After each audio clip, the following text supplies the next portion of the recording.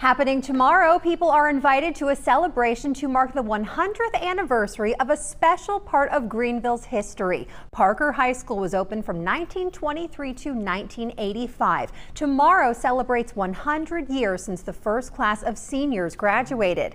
Dr. Pete Hollis worked to create Parker High School for Greenville's textile mill villages. A statue honoring him is at the intersection of Buncombe and Rutherford Streets. Tomorrow's event is organized by the graduates of Parker High School. Many of their parents also went to Parker.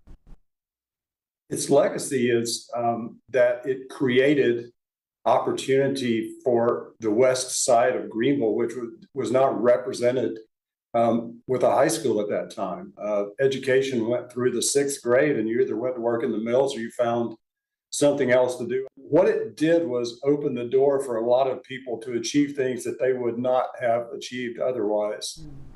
Today, the school on Woodside Avenue is Legacy Early College, and that is where the celebration is happening tomorrow. Details are there on your screen. The Textile Heritage Band will perform, and graduates and descendants will be recognized. It costs $20 to enter.